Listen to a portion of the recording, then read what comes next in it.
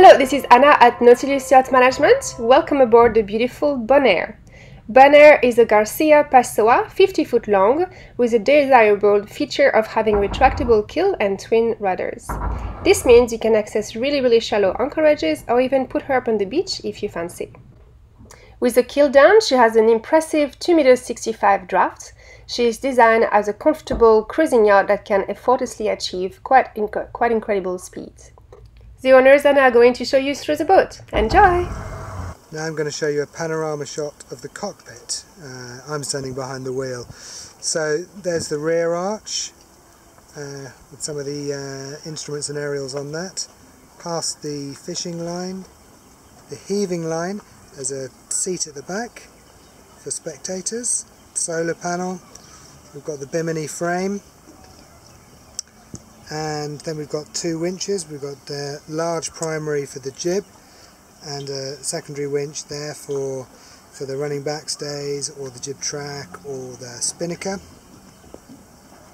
Continuing on, we've got some teak, uh, ornamental teak there, so it's teak, but it's it uh, you don't have to worry about a leaky deck because it's straight it's glued onto the aluminium. Uh, cockpit cushions and some scatter cushions. Going forwards to the forward arch and the spray hood. A couple of winches there for the ropes that come back from the mast. So jib furler, main sheet, that sort of thing. Uh, there's an instrument display up there. I'll show you in another photo so you get a better view of that. Uh, obviously that's the view down the companionway. Continuing on uh, onto the port side, same configuration. I should point out we've got four of these little cuddy holders there just behind the the oval teak shape. So you can put uh, winch handles, gloves, sail ties, fishing kit, that sort of stuff in there. So they're pretty handy. Continuing around the port solar panel, the same winches on that side, Lifebuoy, Dan Buoy uh, seat, the solar, uh, sorry, the wind generator, which uh, is lashed up because we're getting more than enough power from the solar. And the final thing from this shot, I'll just show you into the lazarette here.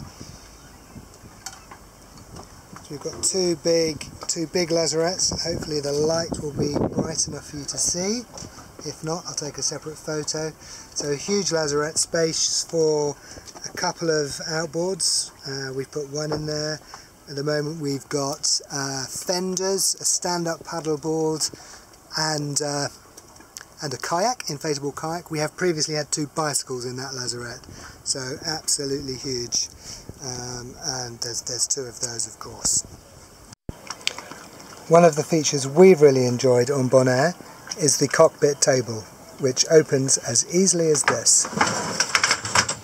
So there you go, large table. We put an elasticated tablecloth on there, and uh, we eat pretty much all our meals at anchor uh, using this table outside.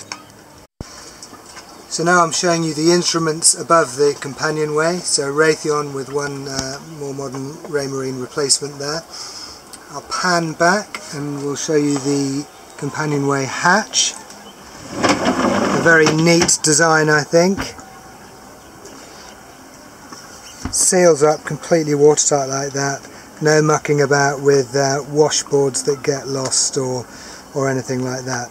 Very, very secure feature and a great watertight feature. Just a short video here to show you the binnacle and the steering position. So obviously you've got the steering wheel here, large steering wheel. Um, behind it, top right, you've got the engine throttle control. Uh, below it you've got the uh, head unit, the control unit for the autopilot. You've got a second control head unit for the autopilot down below near the chart table so you can control the autopilot either from up here or down there. You've got a big uh, traditional compass there in the middle. Bottom left you've got uh, another GPS so this boat has three built-in independent GPSs and this is one of them. Uh, standard Horizon this one, uh, practically brand new uh, with CMAP charts. And top left the little little joystick you can see is for the bow thruster, and to the left of that there's an anchor windlass up uh, supplemental to the main control which is up by the windlass on the bow of the boat.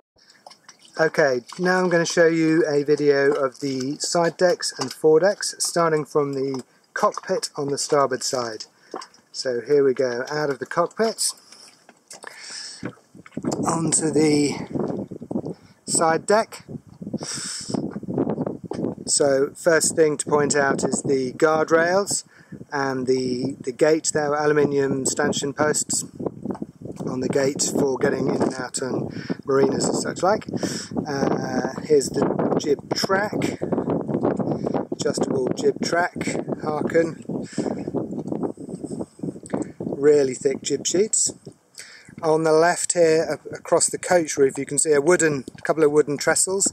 That's where we store the kids' sailing dinghy.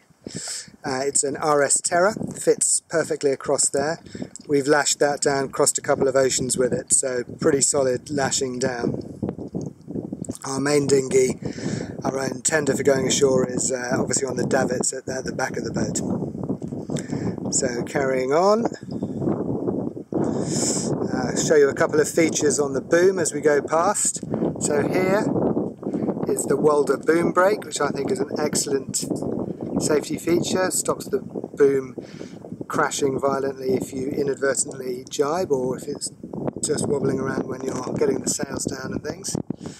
And also there's a boom bag here which we keep all our ropes in, tidy the ropes into. So you don't have so many ropes hanging around at the bottom of the mast or, or on the deck. So tidies away into that rope bag there. Going up a little bit closer, I'll show you the gooseneck, uh, just the sort of quality and condition of that gooseneck. Uh, uh, washers in there to avoid uh, uh, chafing, uh, solid washers, and really no no obvious sign of chafing on these the, the, the, gooseneck there. Very solid attachment to the mast, as you can see. Very similar design for the bottom of the rod kicker, same sort of solid attachment and uh, no obvious signs of, uh, again, sort of wear and tear on, on, on, that attachment. While I'm here, I'll also point out these two sheaths, uh, which are for the up and down ropes for the centreboard. So the centreboard comes up and down on ropes, which you uh, winch in the, in the main cockpit. Nice simple system, simple for uh, maintenance, simple for uh, repair, no sort of complicated hydraulics that, uh, that, that uh, if they go wrong they're much, much harder to repair. Okay, so now continuing forwards, stepping past the very solid shrouds. I'll show you the track for the self-tacking staysail. There it is, again, Harken. And, uh, and that uh, that, that's the staysail there along the side. Uh, we've uh, we've uh, lashed that to the side, but uh, obviously on passage we have it hanged onto the uh, uh, the set onto the, the, the the inner forestay there. I'll also show you while I'm here the spinnaker pole. that's securely stored on the front of the mast. And we have a symmetric spinnaker uh, we use the pole for both the spinnaker and for uh, poling out the jib uh, if we want to go goose winged. We went. Uh, we elected for a symmetric spinnaker. We uh, replaced it in uh, 2017. we had a debate about symmetric or asymmetric. We went for symmetric, calculating that we were going to do more downwind sailing where we needed the spinnaker than crosswind sailing uh, on our on our route. So we went for a symmetric spinnaker. Uh, it has a sock for dousing it. Um, so, so that's that, that's why we have that. I'll show you the uh, winches. We've got uh, three winches on the mast. Uh, a couple of Andersen 46s and a 40. Uh, that's for hoisting the halyards and doing the jib sheets, uh, not, not jib sheets, the uh, reefing lines, etc. At the mast. So when you're at the mast, you've got these granny bars here for security. So you either lean against those, or um, or you can clip yourself onto those. So so good secure spot for, for standing at the mast doing doing those tasks. So continuing to work forwards. Coming forwards in the boat, we've passed a couple of uh, skylights. I'll show you those. One into the main cabin uh, hatches and one into the forward heads, giving plenty of light into those. And then we've got the uh, forward hatch here. I'll open that up. Moving forwards on the deck, I'll show you the forward locker here. We store uh, our spinnaker in there and two massive gas bottles 13 kilograms or 9 kilograms uh, lasts us about five months in total. So plenty of uh, cooking gas in there. We also have a stand-up paddleboard bag in there just uh, good place to store it uh, and forward of that you probably can't see it in the dark is the anchor chain we have 75 meters of 12 mil chain and then a uh, Manson 35 kilogram anchor as our main bow anchor. Uh, we then have another 80 meters of nylon line, so absolutely plenty of scope if you get caught out in a in a big blow somewhere.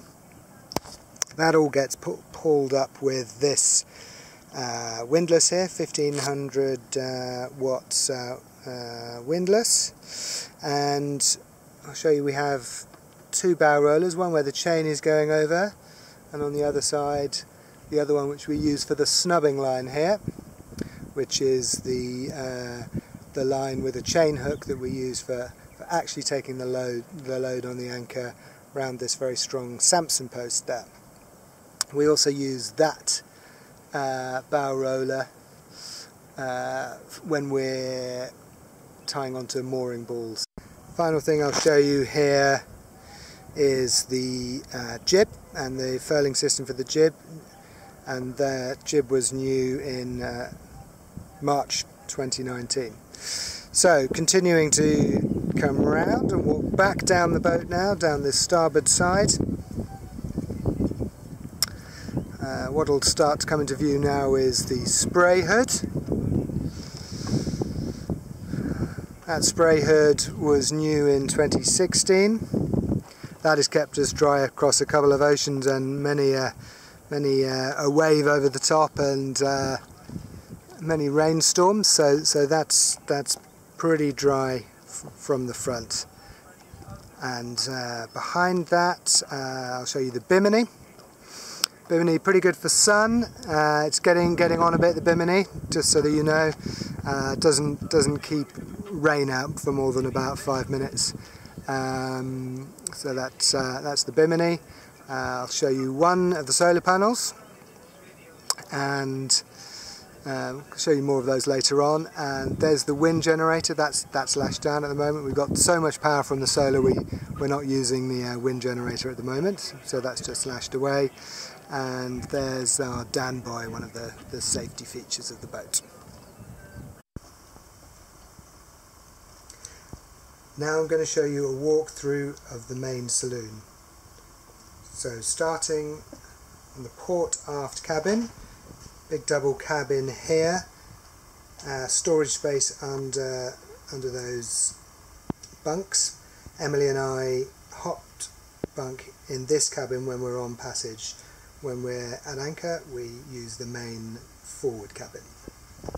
Continuing on round, we come to the electronics control panel and the nav station, chart table, uh, plotter, boat computer, instruments, VHF radio, SSB radio, etc. Continuing round, we see the galley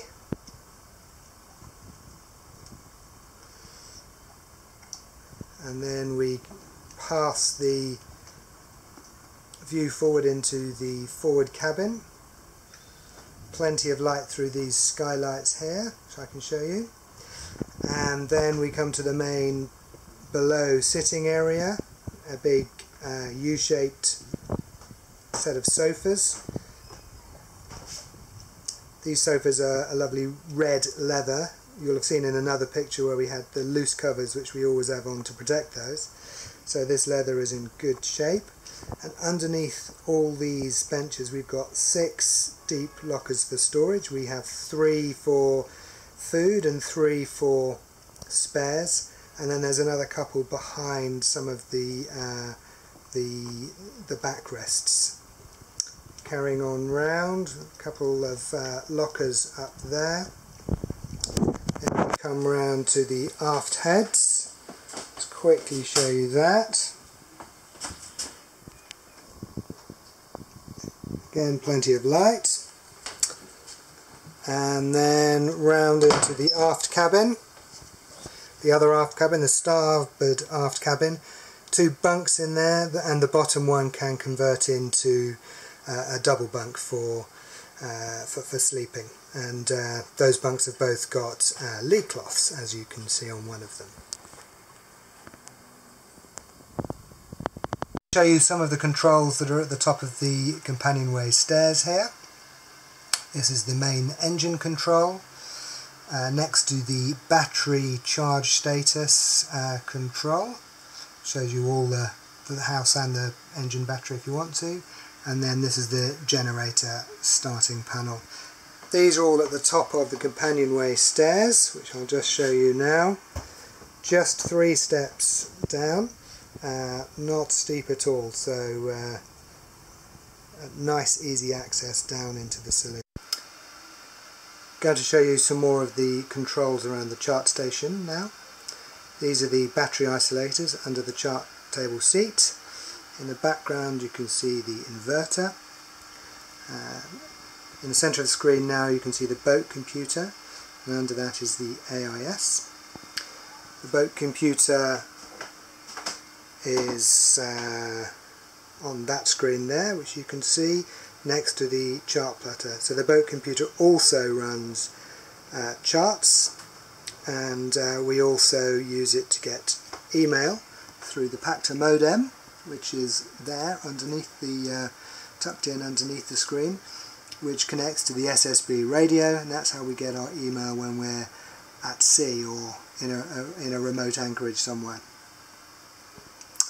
Coming on up we can see uh, the VHF radio and then some of the uh, controls for the instruments including uh, top left there uh, an autopilot control station in addition to the one which is up by the by the wheel so you can alter course if you're down below should you want to.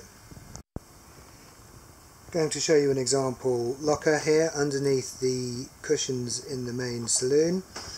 So this is uh, one of the, the six deep lockers I mentioned. This one is uh, food. Also while we're here I'll show you this inspection hatch you can see the lights shining in from the sea down there. So there are three inspection hatches like this for looking at the centerboard.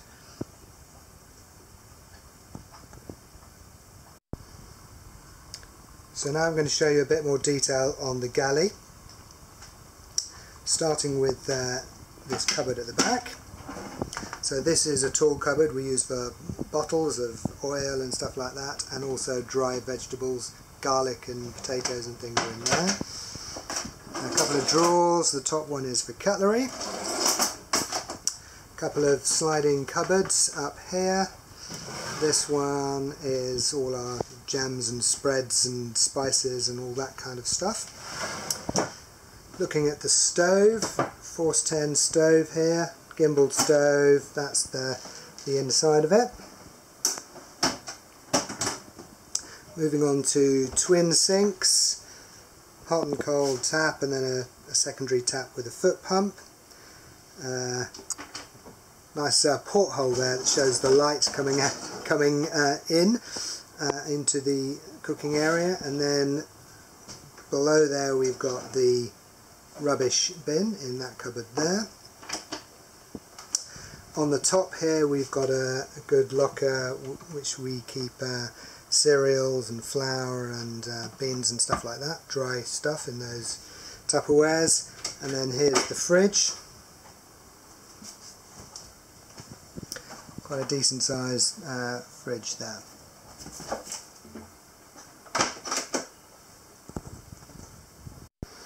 I'm Going to show you another part of the galley here. So opposite the sinks and the stove we have this workspace. A drawer for storage there.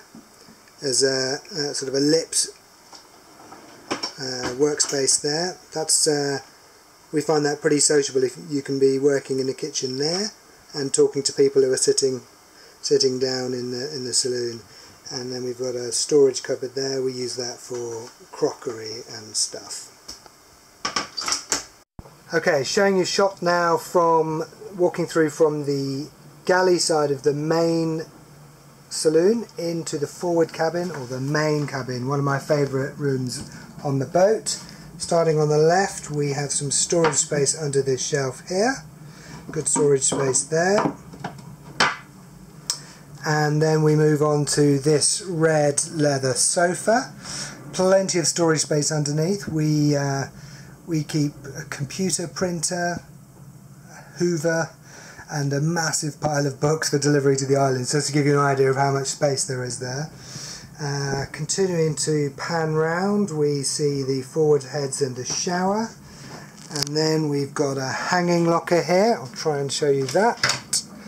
Uh, here we go. So good, uh, good space to, to hang stuff, shirts, uh, jackets, that sort of thing. And continuing to scroll round, we have the, the master bed there. A couple of lights. Uh, all all the space under these bunks is also storage, so plenty of storage there. And then completing the tour, looking back into the galley area and through through into the saloon and the, and the cabin beyond. Plenty of light shining through from the other cabin into here, and from here to the other cabin. So plenty of light and plenty of storage around here. Uh, just going to show you this drawer here, one of one of the bits of storage underneath the bed, so uh, plenty of space there, easily openable drawer. Another drawer there, which uh, opens just as well. Just going to give you another view of the bed in the main cabin, just showing you uh, how that layout works, uh, just showing you the amount of overhead lights, etc you know, really blazing into the, in, into this cabin. And the final view of the cabin, so sitting on the bed here, in front you can see uh, multi-instrument there, so uh, if you're in bed you can keep an eye on the wind, whatever you want to do. A view over to the leather sofa there, and uh, through into the through into the heads. Okay, now I'm going to show you the forward heads walking through from the front of the, the main forward cabin. Just a quick view of the forward cabin so you can see us walking through. Here's the forward heads, uh, nice door, same wood as everything else. First of all on the left you've got, uh, I'll just come in and close the door so we can see easier. Got a couple of uh, uh mirror windows uh, there, cupboards there, you can see the stuff inside. There's those. Uh, sink on cold, power cable, uh, some big lockers down here. We use those to store our uh, emergency uh, at-sea ocean medical kit, so they're pretty full. Shower there. Uh, big overhead hatch that you can clearly see. Uh, more cupboards, mirrored cupboards on this side. So you can see inside those. Uh, the actual head unit there with the Jabsco pump. All new hoses in 2019. Well, that was it for the beautiful Bonaire. For more information, give us a call or send us an email. We'll be very happy to tell you more about this gorgeous boat. Thank you for watching.